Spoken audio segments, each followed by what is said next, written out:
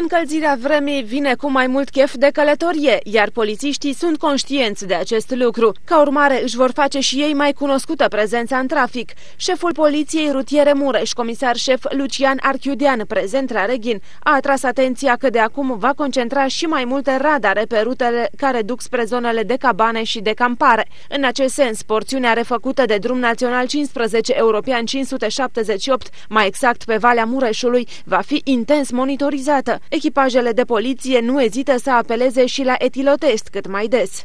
Având în vedere acest drum de modernizat să adapteze viteza de deplasare pentru că se circulă cu viteză extraordinar de mare.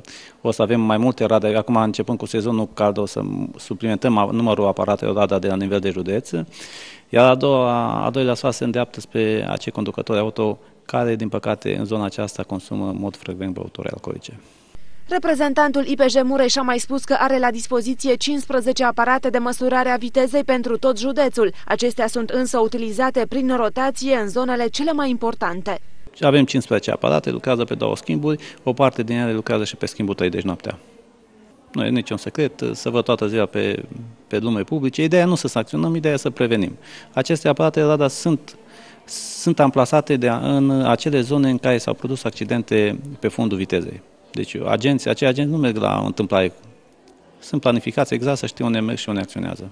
Experiența sezoanelor estivale trecute a arătat că drumurile din zona montană, respectiv Valea Mureșului și Valea Gurghiului, sunt foarte circulate de tineri cu puțină experiență și pasionați de viteză. Anual, cel puțin o persoană și-a pierdut viața pe aceste rute în timpul verii, fie aflându-se în mașină, fie lovită de un autovehicul.